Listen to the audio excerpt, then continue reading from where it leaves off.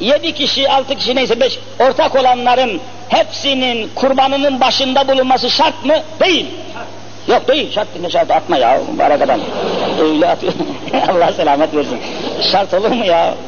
Vekalet verirsin, bir kişi kesersen ne olsun ol. Bağda, bağda, çayırda, bayırda. Öyle bir şart yoktur. Birisi kesse, çünkü yedi kişiyle bu yedi tane bıçakla saldıramaz ya bu hayvana.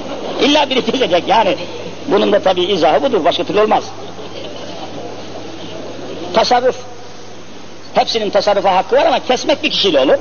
O da vekalet verirsiniz. Ya Rabbi bu hayvana ortak olanların hepsinin hepsine vekaleten Bismillahirrahmanirrahim. Hadise bu. Bu kadar basit.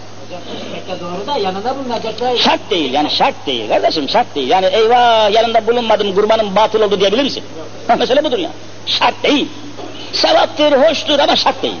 Bak şart başka, sevap başka. Bunları yanlış anlamayalım yani. Milleti bağlamayalım bir kurbanın başına yedi kişiyi. Belki adam, adamın işi var gider bir yere ya. Olur mu öyle şey ya? Allah Allah.